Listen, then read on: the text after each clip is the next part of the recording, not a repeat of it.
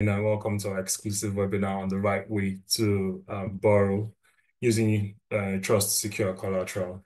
So if this is your first time attending our webinar, yeah, please let us know in the um, chat box by dropping your favorite emoji. And for our returning uh, attendees, we're thrilled to have you. My name is Samuel Ako. I am a trust advisor with Afrinvest Trustees, and I am delighted to be your esteemed facilitator for today's session.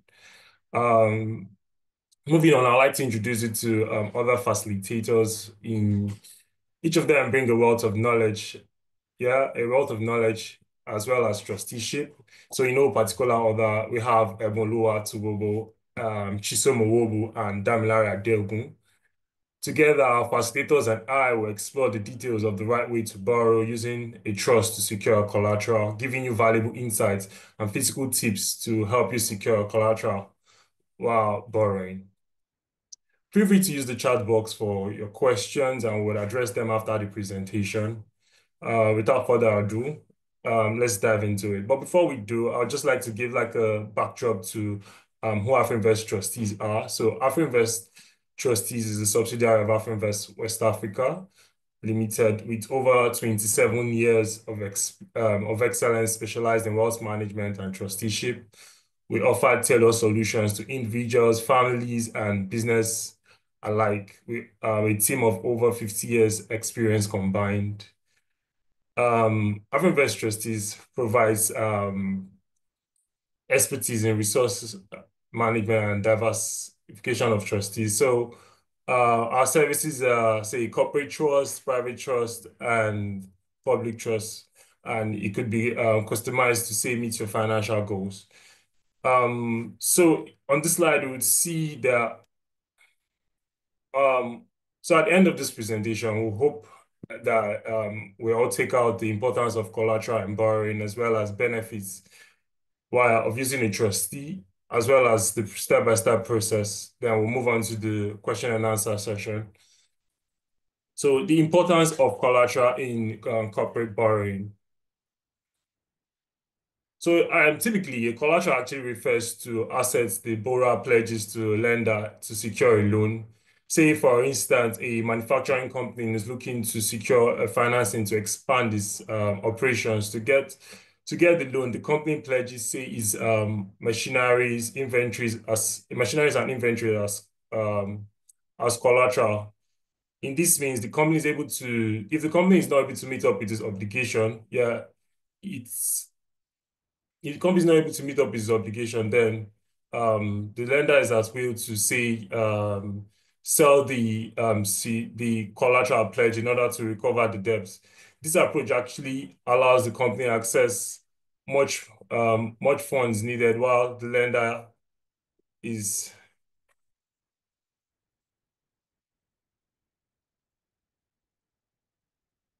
um so corporate loans are generally come in two forms the bilateral loans as well as the syndicated loans bilateral loan is actually straightforward. It's uh, an agreement between one borrower and one lender.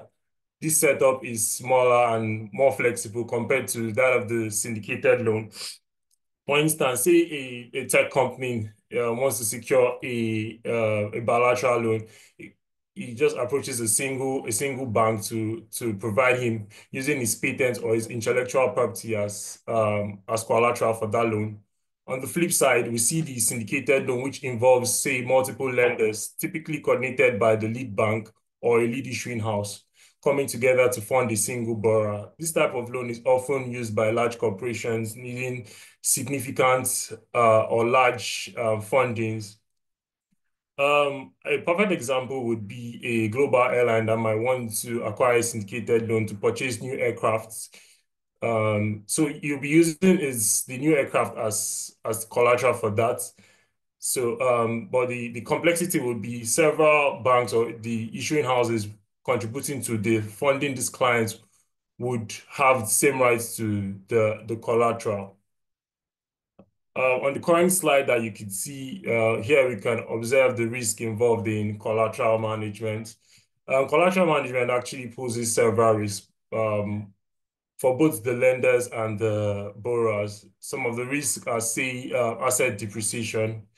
Um, the value of an asset takes take for example, machinery, vehicles, reduces their um, effectiveness over time. If the collateral drops below the loan amount, the lender might say require additional assets to secure the loan.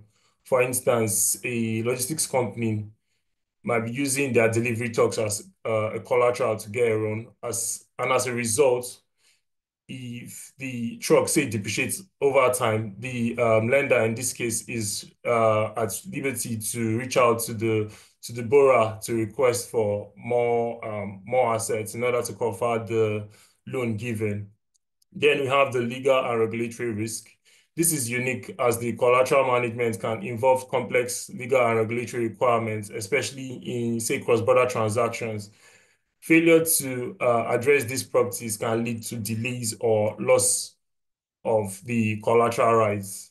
A clear example would be, say, a pharmaceutical company pledging its assets in different countries and might face challenges from the local laws of this company, of these countries to to um, local laws of the countries here to and that resulting to say loss of the assets or loss of the the uh, collateral in this question. So uh, the other risk involved in collateral management would be say that of the market risk. For me, this is a major risk because in um, past transactions, the collateral involved in unique or less um, liquid assets such as, um, say, specialized equipment or real estate, lenders may find it difficult to sell yeah, quickly or at fair value if there's a case of a default. Yeah, that's why often and most times lenders tend to request for near liquid assets like treasury bills, bank guarantee, or stocks.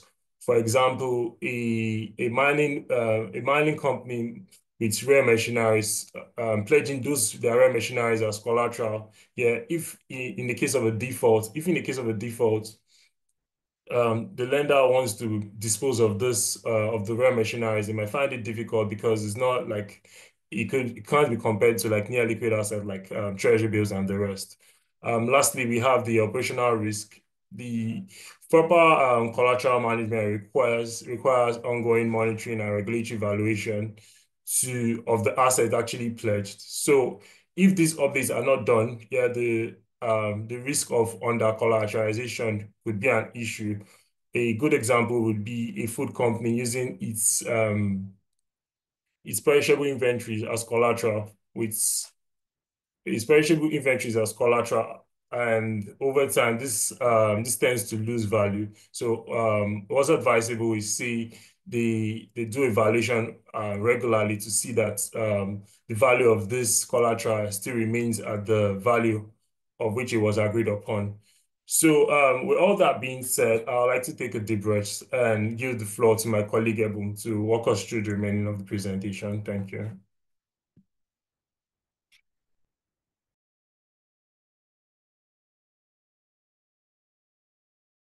Yeah, thank you very much, Samuel, for that um, amazing introduction. So my colleague Samuel has, you know, um, done a very good justice in trying to um, let us understand uh, what collateral management is, trying to let us um, give us an insight as to the risks, you know, associated with collateral management and also the types of um, lending that we have, uh, being it the syndicated lending or or uh, what have you. But you know, having to understand the role of a trustee when it comes to collateral management. What exactly does a trustee do, right? And um, that's what I'll be taking us through this slide. Um, if you've been attending our previous webinars, you should already be much aware of who a trustee is or what a trustee is, depending on the context, right? So a trustee basically um, is an individual or an organization that is entrusted with, you know, that responsibility of ensuring that assets are well managed, of ensuring that, you know, uh, assets are, are, are held on behalf of certain persons for certain reasons. And in most cases, we refer to um, this scenario as a trustee, a beneficiary, and then somebody that, you know, sets up the trust. Um, but in this sense, you know, we are tending more to a deeper understanding on a much more corporate level as opposed to the private um, understanding of what we have to know to be a trustee. Uh, a trustee here has a fiduciary duty because we're talking about monies, we're talking about lending, we're talking about the borrower, and then we're talking about the lender. So we have to, you know, sort of like um, be able to bring that trustee to the point where they are held responsible to ensure that assets are properly are properly managed for that collateral management purposes. And that is why you'd see that you know trustee play a very uh, important neutral role, a unique role as, as, as neutral third party agents in such transaction. And this is because you have two parties that are coming to say, okay, I need some amount of money, and another party is saying, I'm available to give you that money. The party coming to say, I need this amount of money is ready to put down with collateral. Now, some people would not be comfortable with, you know, giving the lender the collateral, and that is where the trustee comes in. The trustee comes in as that middleman, that party that holds the collateral for the sake of either the borrower or the lender. And should there be a case of default, which we will tend to see in much previous slide, um, um, in the much next slide, you will tend to understand that, you know, the trustee also has a duty to ensure that if there's a case of default, um, the collateral is realized or sold off, depending on whatever the case is. And if, you know, all obligations are met, then the collateral reverts back to the borrower and then the lender gets the money plus the interest for which he has um, lent the lender. So you know, how do we then see trustees acting as neutral parties in such scenarios, right? Um, trustees act as neutral parties because this neutrality allows them to be unbiased. This neutrality allows them to say, okay, you know what? We do not owe any of you loyalty. Whether or not you have an affiliation or you know the buyer, um, the borrower, or you know the lender, as a trustee, you have that um, unique responsibility to sit on the fence and not to take sides. And that is why you know as a trustee um that's that regulation that you're being bound by because as a trustee you're bound by you know the SEC rules you're bound by the trustees act you know there are so many laws that are preventing you from going out of your ordinary work of scope and that is why it is very important that you know as a trustee you manage this asset fairly, and um, responsibly for all parties right so for example like i said if there's a simple loan arrangement, there's a borrower and there's a lender.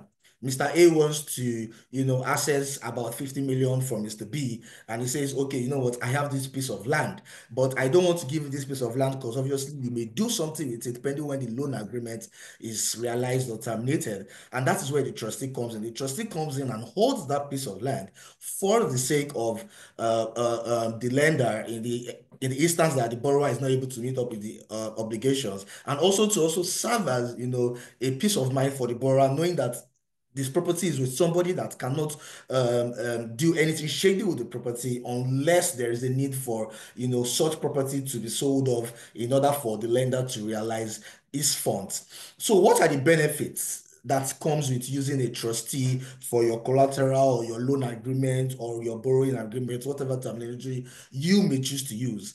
There is that effect of enhancing borrower and lender confidence. Like I said, as a borrower, you want the confidence that, okay, if I am giving my property for this particular transaction. I want to be able to, you know, have that peace of mind that nothing would happen to my property pending the lifespan of the transaction to when the transaction is uh, or matured or realized. And then as a lender also, you also want to have that confidence that, okay, if I'm giving out a sum of money, I also want to have something that if I'm not able to get my money back in cash from this old person, I want to be able to realize my money either from the sale of the assets of um, the borrower or from whatever arrangement that you've had in that particular um, uh, collateral management agreement. And that is why, you know, the essence of a trustee in such arrangements cannot be overemphasized, really. There's also the effect of, you know, having a streamlined resolution process in case of default. And that is where a trustee also comes in because before the parties even um, reach the point of where they have to exchange hands in the sense of cash exchanging for trans uh, for assets, they are already pre-agreed terms. The trustee is already from the loop, is in the loop from the very onset of the transaction. And that is why right from the beginning of the transaction, all processes are defined, all processes are streamlined. If there is a case of default, this is what we are going to do. If there is a case in which you know all parties have met their obligations, this is what we are going to do. So that process is already streamlined. The, um, the trustee has used the professional experience to ensure, you know, that um, um, in any way that the case swings, either party is secure, either party is safe. And, you know, that leads us to another benefit of protecting the interest of all parties. A trustee is neutral. A trustee is independent. A trustee is, is, is, is um, fiduciary bound, you know, to observe his duty. So all parties, regardless of whether you're a borrower or whether you're the lender, the trustee has a fiduciary duty to uphold your interest. So, regardless of whether or not Afrinvest used to maybe do transactions with Mr. A or Mr. B as an account at Afrinvest, Afrinvest trustees has no business with all of that. What Afrinvest trustees had is the terms of the loan agreement, is the collateral which is being used in um, exchange for you know the loan that's been received and that is protecting the interest of all parties. So you can see that there is you know an assurance of confidence. Confidence is being instilled in either party and then their interests are also more protected. There's also the issue of legal and financial security. As some of you may, you know, those of you that have dealt with trustees, you would be much aware that um, most trustee organizations they comprise of you know well-equipped professionals individuals with outstanding um, uh, financial and legal background. And that's also an added advantage because you know a trustee being in your transaction or your collateral management agreement helps you because we are able to also you know look into the agreement see where a party might be tend to unbiased um might be tend to bias or a party might be trying to like you know favor itself over the other party. And with the legal and you know financial experience that a trustee has a trustee can make certain recommendations right as regards that agreement. So there is that security there is that um legal backing the um, loan agreements, there's a collateral in place, you know, everything is well defined so that it leaves no lacuna for, you know, guesses or uh, what have you. So it's not a, case of, oh, okay, uh, what if, what if? Things are already defined. There is already a term sheet, there is already a collateral agreement, there is already a loan agreement, you know, depending on whatever structure that um, you are trying to, to take on, right? So are the advantages of um, using a trustee in managing collateral. We've seen the benefits, and now we're trying to also look at the advantages. Why why are we so pertinent about you, you know, using a trustee as a collateral? Some of us before this webinar, we probably wanted to maybe uh, let's say, access a loan from a particular person, and we've um, been a little bit skeptical about having to give our assets directly to such persons. It's a good thing that you're here on this webinar now because we're trying to give you a much more easier uh, securitized way for you to be able to, you know, you still get access to these loans while having your collateral protected. So there's that issue of risk mitigation. With a trustee, you've mitigated all risks because as a borrower, there's the risks that, okay, if I give my property to somebody in exchange for money, before I even pay back the loan, the person might have sold off the property, right? For the lender, there's that risk of, oh, okay, if I give up my money to somebody and then the person doesn't pay back, how do I get the money back? So there is that balance between both parties where you have the borrower and you have the lender, and then the risk has been mitigated with the use of a trustee. Speaking of efficiency, I cannot even emphasize that. Like I said, trustees are professionals, they're well seasoned in such affairs. So if there is, for example, um, um, a, a breach in obligation by the borrower, the trustee moves swiftly against the collateral. There is no uh, sense of, oh, okay, I am sorry, I'm sorry, please, please, please. The terms are well defined. I mean, in some cases, the lender may be quite magnanimous to say, okay, um, I want to probably give you two more months to pay, but that's up to the lender. For a trustee, his duty is to ensure that as long as the borrower has defaulted in um, um, um, paying back the loans or uh, or the funds collected at a particular time, the trustee moves efficiently to enforce the collateral, to enforce and realize that, you know, the collateral is sold off and the funds are um, given back to the lender so that all parties are happy, all parties' uh, rights are being protected. And I'm seeing professional management here again. You know, I'd say that trustees, be it an organization, be it an individual, they are experienced professionals. They are persons that, you know, um, for example, Afrinvest trustees cumulatively there are over 50 years experience across board when it comes to you know the persons administering such transactions. So you know you're also well assured that okay because of it is a professional that is managing this asset because of it is somebody that i know that is well seasoned in this area that is managing this asset my assets are safe. So you do not want to probably just say oh okay um i have a friend he's a lawyer um he should ordinarily be able to you know administer this. No yes in as much as you will see most trust organizations comprised of lawyers. Unfortunately, it is a much more, you know, uh, um, separate niche from the usual practice. So that's why it is essential for you to be very intentional about, you know, who you are bringing in to help you manage these transactions, to help you manage these collaterals, right? I cannot even overemphasize that bit. So there's that bit of also enhanced trust and credibility, right? With a trustee, licensed by SEC, all regulators are on their neck. It is impossible for them to do anything that's out of the ordinary. There is that trust. And then there's the credibility that you also have with, you know, Afrinvest trustees, also being a, a, a subsidiary of Afrinvest uh, West Africa, which has more than 27 years in the game. And then what have you. So there is that, you know, credibility and trust that comes with it.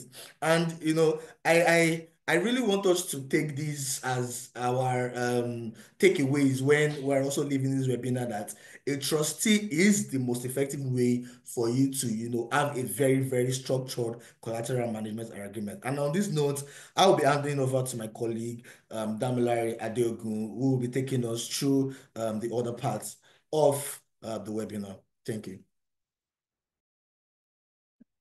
Thank you very much, everyone. Um, you bring quite an interesting perspective to um, our webinars. Um, thanks so much for all that detail, all that insight into our, uh, you know, the CD, you know, uh, getting a loan, um, both syndicate and um, and um, bilateral. So what I'm going to be doing right now is walking you through a comparison between syndicated and and um, what's it called, between syndicated and um, bilateral loans without necessarily, you know, emphasizing a preference, right?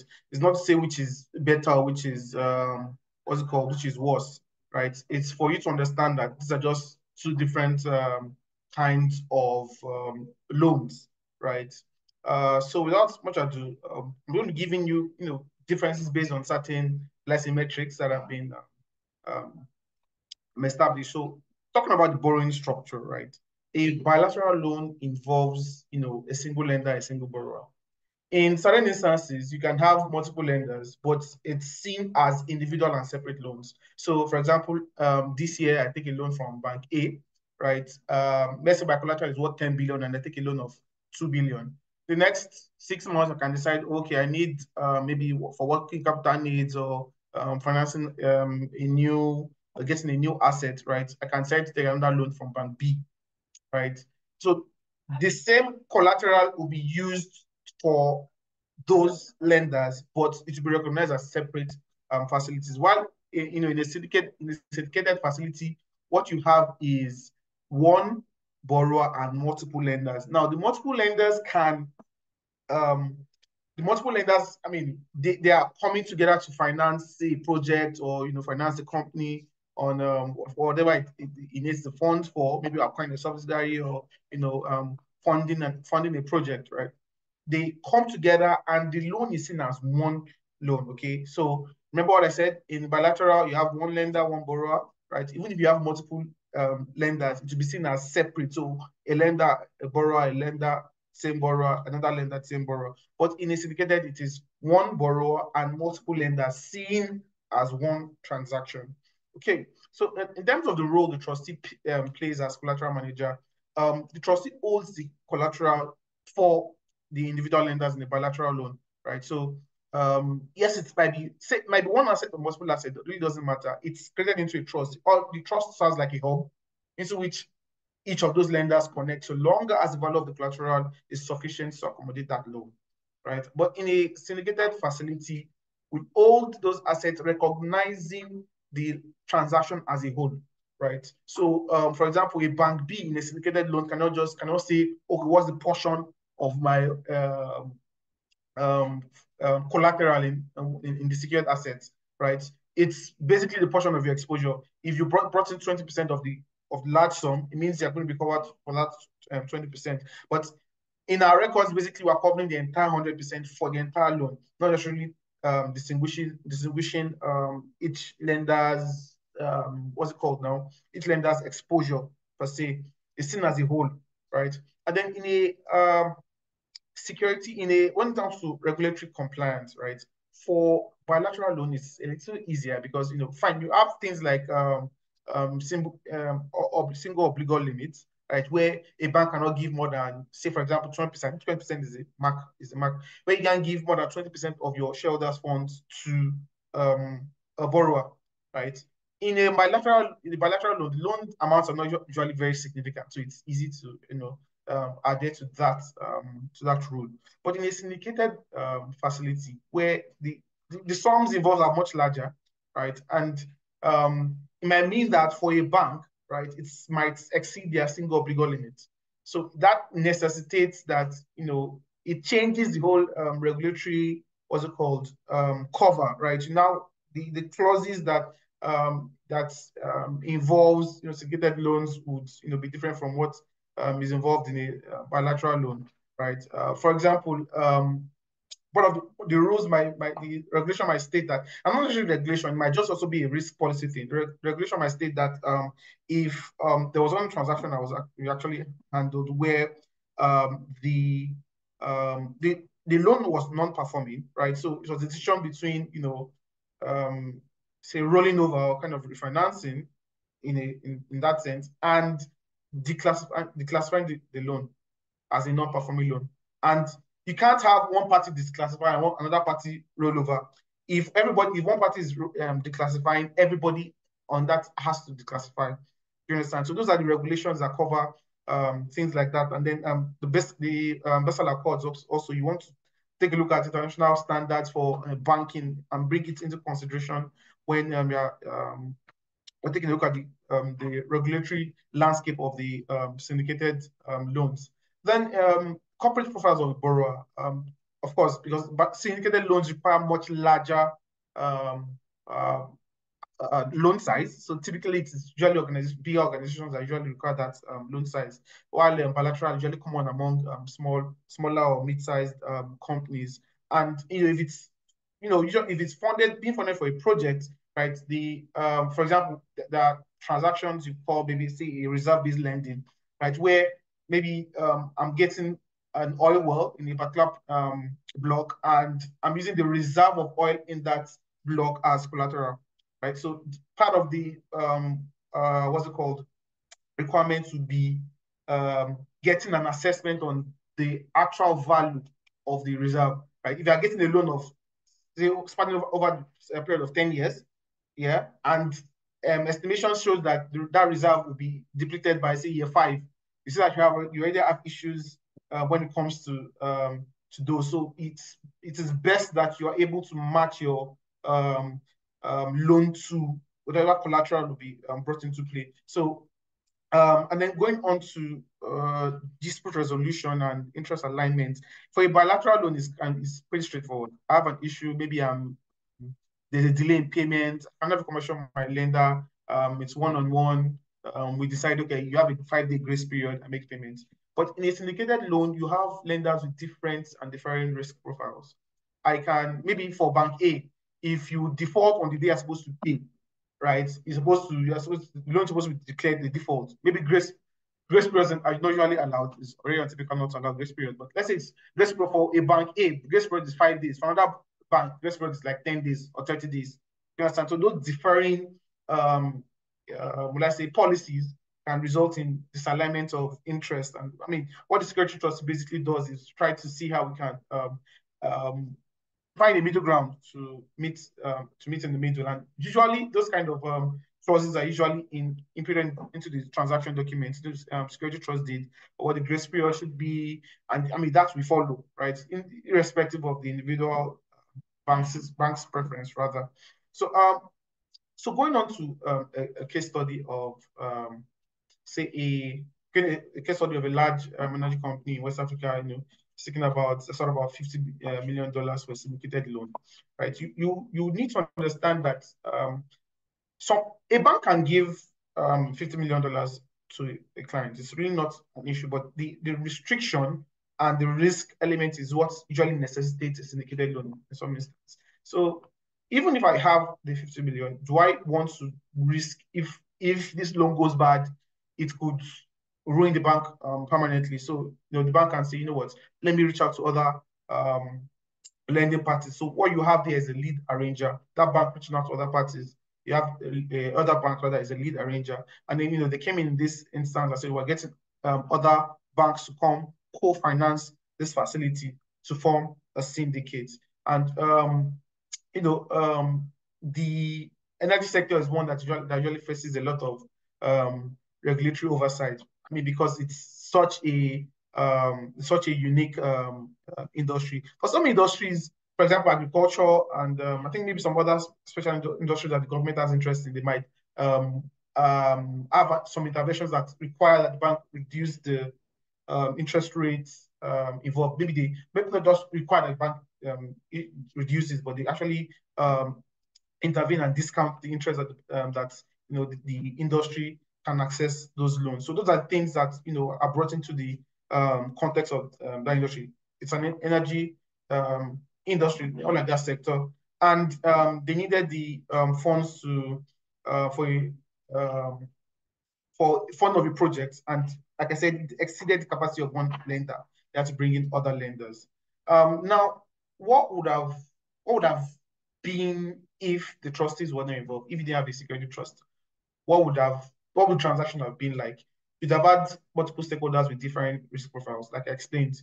Um, it would have been for one difficult to harmonize. Um, you won't have a central party that, for example, if I am the lead arranger, right, and I'm saying, okay, the client wants to raise 50 billion, um, let the let the collateral sit with me. How comfortable would Bank B, Bank C, and Bank D be if you have just four lenders? That if any, um, pardon my parlance, if any begin happen, right? How likely is it that the bank, the lead arranger, the bank, bank A, would not prioritize, you know, selling off the asset to satisfy their own exposure before prioritizing the others? What like I mean, the rules can say you, can, have to prioritize everyone equally, but would you, as the other lender, be comfortable leaving your assets in the hands of someone that you know that also, also has an exposure and can or has and actually uh, prioritize their exposure above yours, right? It might not exactly sit down well with you. That is why um, a tr security trustee being brought into the mix is very crucial for the success of the transaction. And then you have regulatory compliance, right? Um, if um, security trustee is not involved, you might not the I mean, so banks have pretty solid legal teams, but you know sometimes if um, there are different positions among legal teams, it, it's a lot of back and forth. You don't when when such transactions start, you can see you see a lot of because you know you have, for example, you have five banks and each of those five banks legal team, right? Actually, you know, arguing on clauses or what should be, what should not be.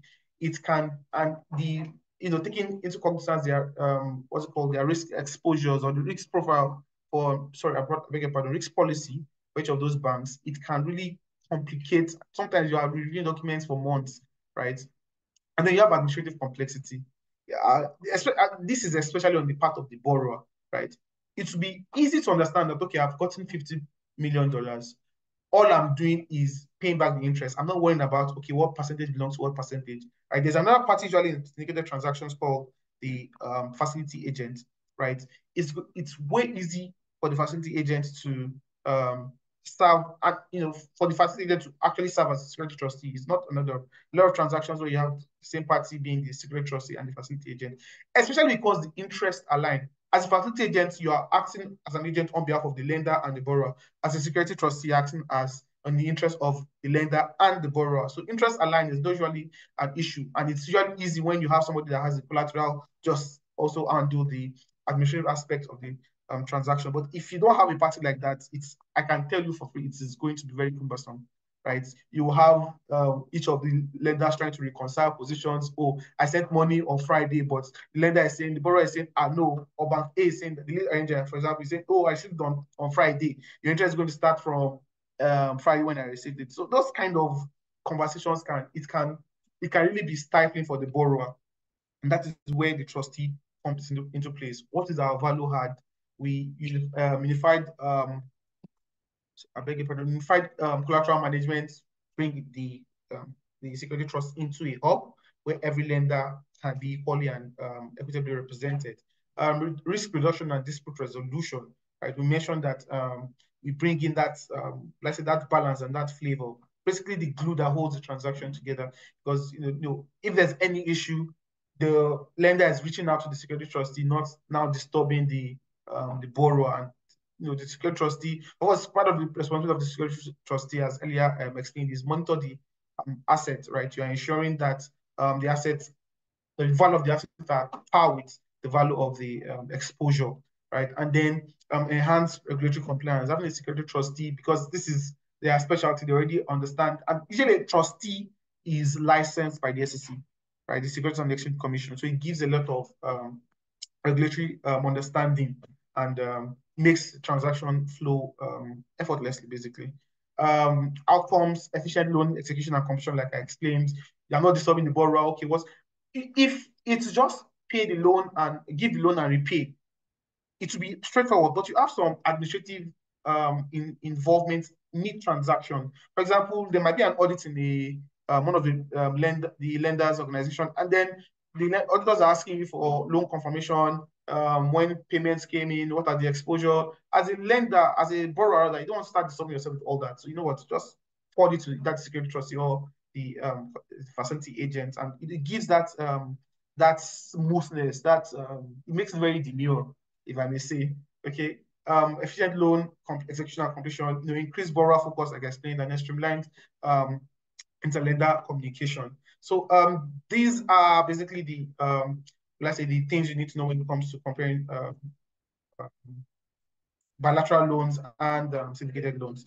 So now I'm going to I'm going to be adding over to my colleague Chisom to take us further in the course of this webinar.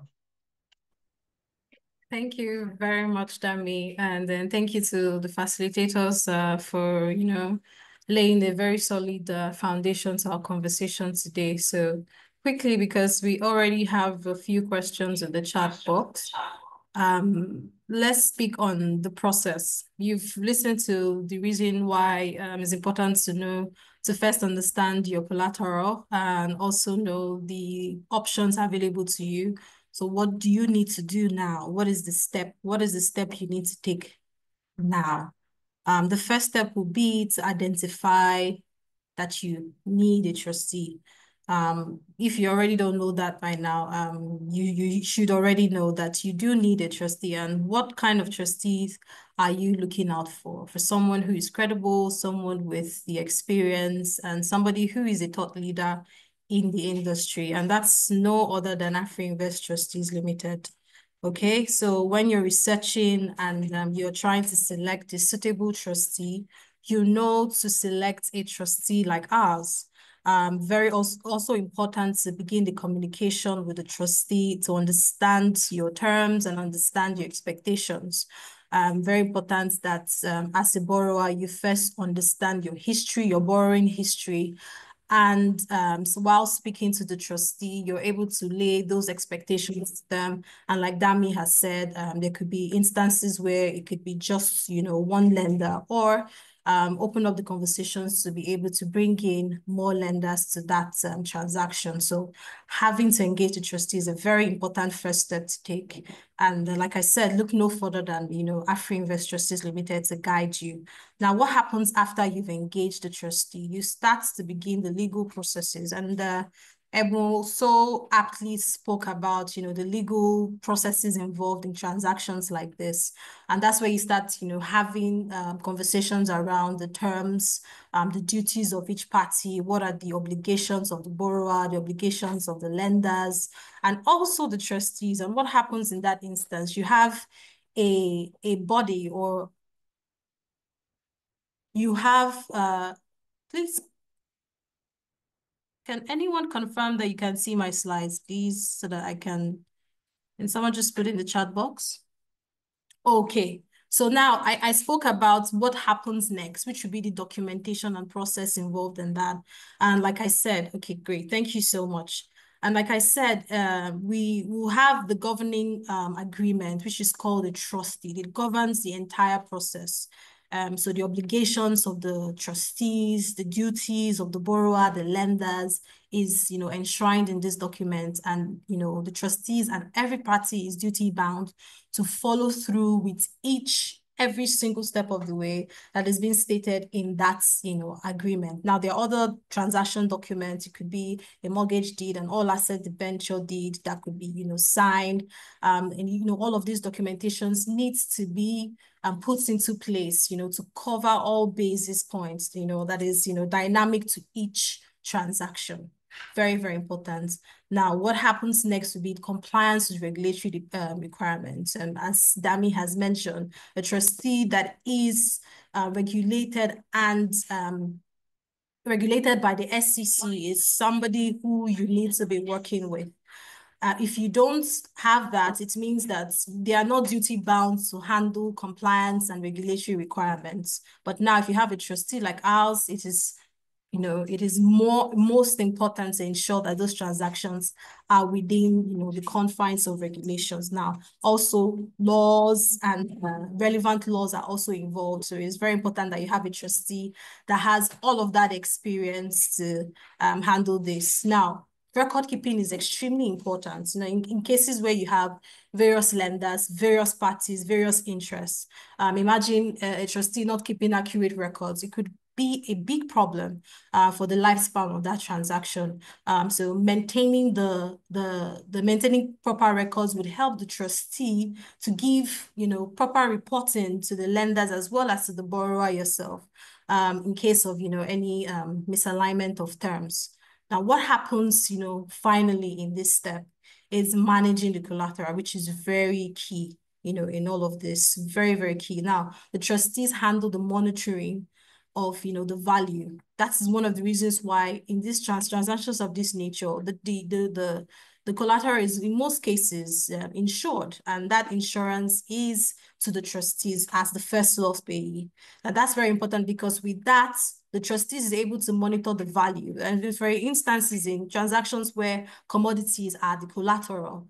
It's very, very key that the trustees understand and know the value of each of those commodities on a day-to-day -day basis and to ensure that it's still, you know, able and viable to, you know, cover for the lifespan of that transaction and, you know, cover for the facility that has been taken by um, the borrowers from the lenders, you know. If there needs to be a substitution or change or releases, um, you know, the trustees understand that even beforehand and give adequate advice to you, the borrower.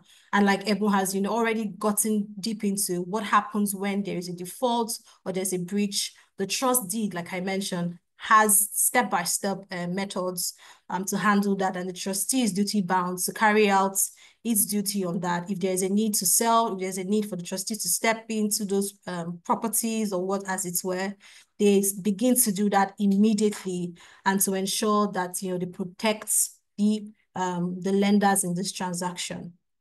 So quickly moving on to what are the best practices for borrowers when using trustees? It's very important that we've spoken a lot about, you know, what the trustees can do, the reason why you should have a trust. It's also important that the borrowers understand um, the best practices when working with the trustee. One of them is understanding the collateral agreements. You as an individual or uh, as a company or um, a leader in a company and you think that, okay, I think it's time for me to, it's time for us as a company to start looking into um, accessing more funds to, you know, to, you know, grow our company and, you know, lead us to where we want to be in terms of our finances and our projection. You have to first evaluate your borrowing requirements and your options out there. And, you know, Dami has spoken a lot about various options that you can, you can have. Um, also important to know that you know where you are right now as a company can this can be an opportunity to step up to the plate you know to come to the capital markets and access funds and you know protect yourself and also use collaterals that you might not even know are viable options for you to you know um, be able to access a, a large number of you know funding for your company.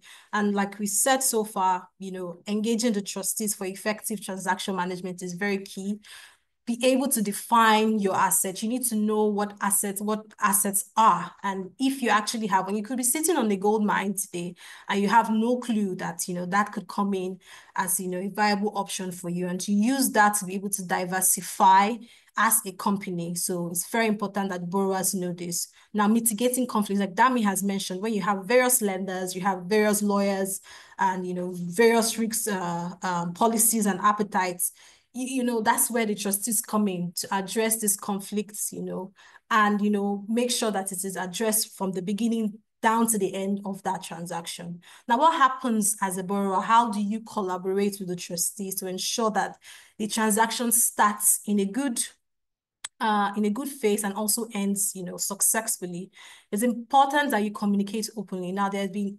instances where down the line, the trustees should have known certain vital information, and it turns out that, you know, those informations were being withheld and it's, you know, it's, you know, limits limits the progress, you know, so to speak, of that transaction. So it's very important that you maintain transparent communication and consistent communication with your trustee. That's the reason why they've been appointed to, you know, handle even things that you feel that eh, you don't want to, to share. For example, your borrowing history is a very important, you know, information that the trustees need to know. So if, for example, you have various um, um, old lenders that have maybe there's certain paperwork that have not been done in terms of releasing of you know of those assets, those are the information that the trustees need to do to be able to assist you with you know um, assist you with the next step of, of, of handling new or new lenders coming in. Now, like I said, information is key. Now, I've mentioned one very key information that the, the trustees need to know. I also need to know the, the ownership structure of your assets is very key. Some people think that um, the assets belongs to them, but in, in the real sense, it not necessarily belongs to the company. So those are the things that, you know, the trustees need to be aware of and to be able to give you this accurate data would help the trustees and also help you um, when you are stepping in uh, into such transactions now partnering effectively, um, working together for you know collateral oversight. I've mentioned um, you know when it comes when when it comes to valuing the asset, when it comes to managing the assets, um, you have um, some cases where the borrower is a bit you know tense with you know being the trustees being involved in knowing what happens in the collateral or etc. But you know that's that should not be the case. The trustees begins in these transactions are in most cases an equitable owner of those transactions of those collateral so it's very important that they have that oversight and there is a partnership between you the borrower and the trustee to you know manage and ensure that the collateral is safe maintained and um, secured now, understanding our role is very key. I think that uh, my, my colleagues have been able to explain what our role is. You have to be aware of our responsibilities. Now, there are responsibilities where the, the trustees have to distribute funds, you know, both interest and principal back to the lenders. And some, so you see in some cases where the, the borrower is a bit skeptical about that, but that is one of the major role of the trustee to be able to distribute those funds back to the lenders and also to handle the management of the asset and compliance with relevant regulation. So at this point, uh, I want to thank you so much for sticking with us and we'll open the floor uh, for various questions and answers. Um, thank you very much. And, um, and I yield the floor to Dami to handle this portion. Thank you so much. Uh, thank you so much, Chisom uh, for a very wonderful session. So uh, because we're very pressed for time, I'm going to be jumping into um, question and answer sections. I'll pick out some questions. Um, again, for those if those of you that are joining us for the first time, we share the slides, we share the recording of the seminar, of the webinar, pardon. So if um, your question is not answered, um, uh, please, you can, this is our contact detail on the screen right now. You can just send an email to any of these um, emails or um, trustees at afrinvest.com. Okay. Um, so this person says, um, uh, could you please advise on, on, your target customer for this service? Do you offer service to SME or only large um, corporate organizations?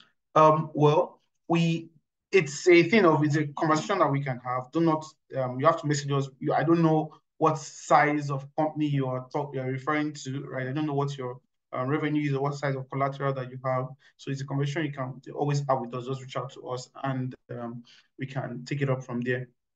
Um, this one says, what type of collateral can I use with Afrinvest Trust? Can I use my stock portfolio with Afrinvest as collateral? So here's the deal, right? As much, um, please, we're going to need you to use the question and answer section. Um, I see that a lot of people are raising up their hands. We might not be able to um, take on, you know, um, attendees, um, have attendees speak right now because we're pressed for time. So please just use the question and answer section. So um, in terms of the type of portfolio um, of asset you can use, it really depends on the lender, right? Um, we yes, stock portfolio has been seen to um, be used as collateral in um, certain assets. Um, a lot of rich people even do it, right? They use the stock portfolio as, as a leverage to get um, get a loan, right? So yes, it is possible, but you know, it's question is a question of what's the value of the um, stock portfolio, and then once there's a um, what's it called? The, once there's a reduction, once there's a maybe a reduction in the price, right, and it exposes the lender, there's going to be a margin call, and you have to supplement um, the either the stocks or the cash, right, or um, make the uh, the lender whole. Okay. Um, so what type of collateral? The same question. Yes, um, you can use any collateral, stock, um, land. All we've seen is you know landed property, machineries, um, like someone said, you can buy a get a loan for to get to buy a, a machinery and then use the machinery as um, collateral, right? So um, it's so long as the lender is comfortable with that, you are good to go. Uh, um, okay, so this person says, um, okay, so this question, can an individual have access to a trustee which can help facilitate loan pro, uh, process for projects? Um, so I would need to express um, explicitly that uh, ours is not um, ours is not to get you the loan, right? Ours is to ensure that the collateral is in place and is in a neutral um, is in the hands of a neutral party. And this is why this is important: is if we have seen situations where you know an organization gives um, their collateral to, say, a bank, and then they want to get loan from another bank. Maybe another bank is offering them cheaper, right? But the existing bank is delaying the process. Okay, you're supposed to um, share collateral with the new bank, but okay, they send you email, you take five working days to respond, right? Um, they try to call you and not, so it can stifle the process, and they might decide that you know what, let us give you the loan of getting from another lender. But what if the lender is giving you at a cheaper rate, right? And what if you are trying to just um, diversify your relationship with banks, right? So that's why having it in the, in the custody of a neutral party gives you that leverage, right? It's something you want to. Um, so can you take pension as collateral? No, we cannot take your pension as collateral. You can't use your pension as collateral. Um, your pension is sealed until um, either until you I think you retire or until you're out of job for a couple of months. I can't remember right now. Um, but no, we cannot use the pension as collateral. Um, Okay, um, can I get a loan? We already expressed we do not, uh, we're not responsible for um, getting you the loan as is to maintain the collateral. Uh, what happens if a trust dies? If a trustee dies, as beneficiary always, um, so this is with respect to um, a private trust. Um, if um, you're talking about um, this conversion we just add, if anything happens to the trustee, a new trustee can be appointed. For example, if uh, the trustee packs up, right, they usually um, bought over by another trust company or financial, financial services company. So the transactions continue their legacy, or continue to run, right? But if um, as a um, as a settler of the trust or the lender, you can always replace your trustee. It's a lengthy process, but yes, it's doable. Um, our collateral is 10 billion and the fund is 2 billion. At default, will the borrower get his balance? Yes, the borrower will um, get their balance. Okay, so this is as much questions as we can take right now because we're very pressed for time. Um, like I said, the recording will be sent to you, the slides will be sent to you, and our email addresses are right on display right now, so you can just jot them down. I'll give you give like 30 seconds to just jot it down, take a screenshot if you have to. Uh, I want to say a very big thank you to everyone that has joined this webinar so far. For those of you that have been with us from the start of the year, you joined our Q1, Q2, Q3 webinar. Nowadays, we say very big thank you. We cite you, we hail you, very demure, very cutesy. All right, thank you very much. See you on our Q1 2025 webinar. Thank you very much, everyone. Have a wonderful day.